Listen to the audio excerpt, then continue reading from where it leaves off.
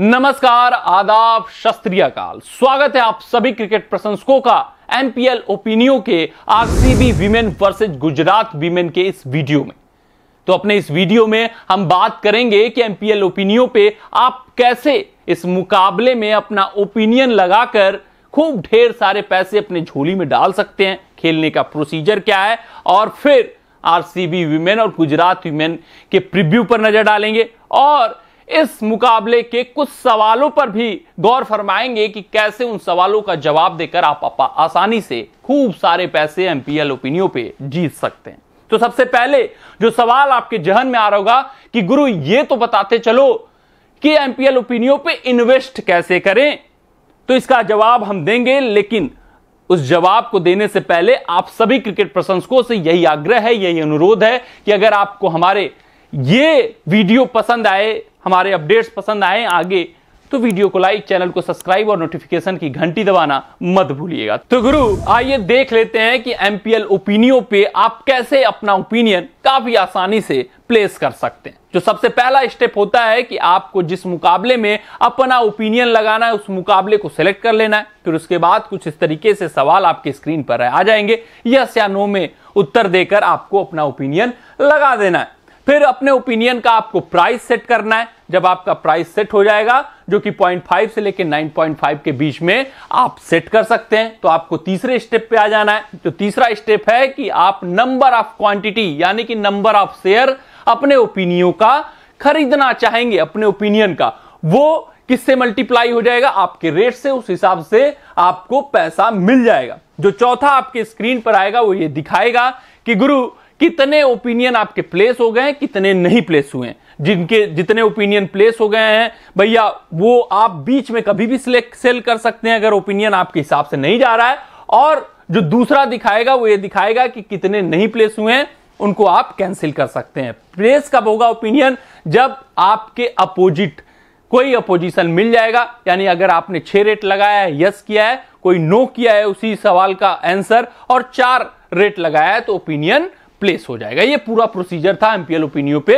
अपना opinion trade करने का। तो आइए अब इस मुकाबले के ऊपर चर्चा कर लेते हैं। सबसे पहले पिच रिपोर्ट पे नज़र डाल लेते हैं। अगर हम बात करें पिच की तो एम चिन्ना स्वामी स्टेडियम पे मुकाबला है। आपको भी पता है कि यहाँ पे कुछ बताने को रहता नहीं है। बैटिंग फेस्ट होने वाला है, खूब सारे रन बनने वाले हैं। ये लास्ट पाँच मुकाबले के स्कोर कार्ड है। आप देख सकते हैं वीडियो को रोककर अब आ जाते हैं probable eleven of RCB team के ऊपर।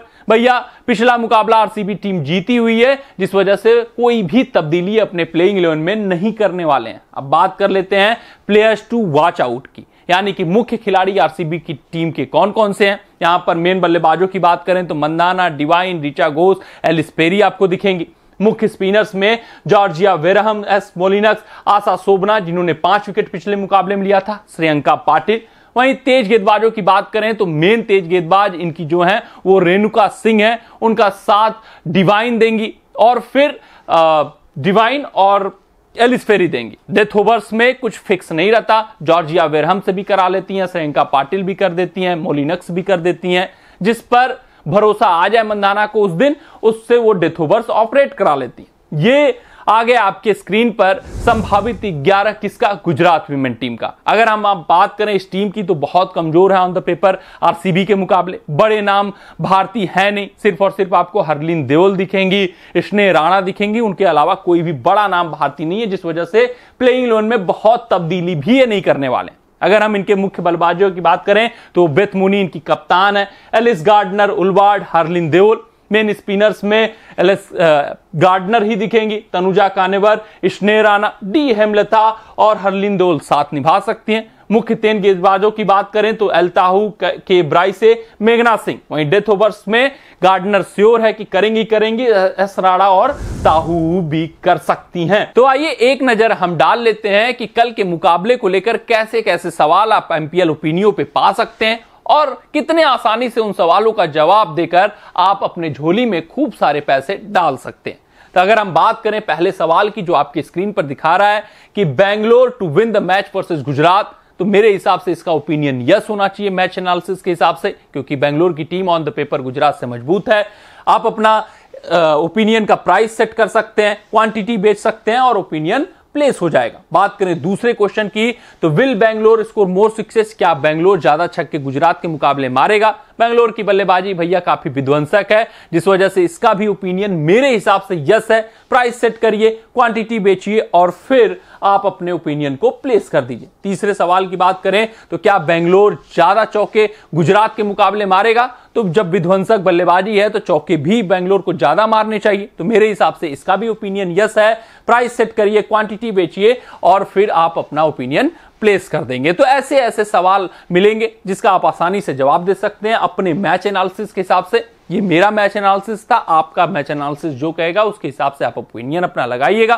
तो ये था हमारा एमपीएल ओपिनियो का गुजरात वर्सेज आरसीबी मुकाबले का वीडियो अगर आपको वीडियो पसंद आई हो तो वीडियो को लाइक चैनल को सब्सक्राइब और नोटिफिकेशन की घंटी दबाना मत भूलिएगा।